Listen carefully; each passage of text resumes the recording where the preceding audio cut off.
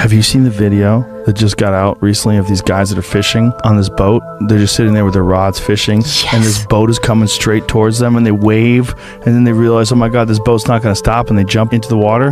Did you see that? I did see that. Watch this.